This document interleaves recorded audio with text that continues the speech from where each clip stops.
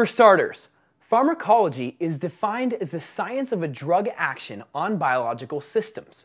But it is more than that. This scientific realm of study really gets into every little piece of each drug, including pharmacokinetics, which basically covers the body's absorption, distribution, metabolism, and excretion of a drug, the drug's classification, what type it is, a drug's source or where it comes from, its chemical properties, biological effects, routes of administration, and therapeutic uses on patients. Now, this may seem like a ton of information, and it is, but since we're not all pharmacists, we're going to go through a little bit more simply and include only the things that will be really important for the majority of students of medicine. This brings us to our next point. How are we going to cover this subject for you?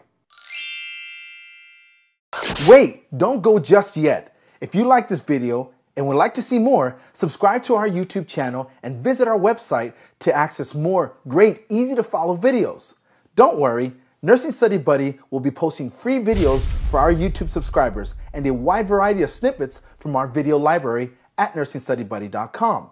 Nursing Study Buddy was designed for those nursing students and current nursing students who are struggling with their educational experience.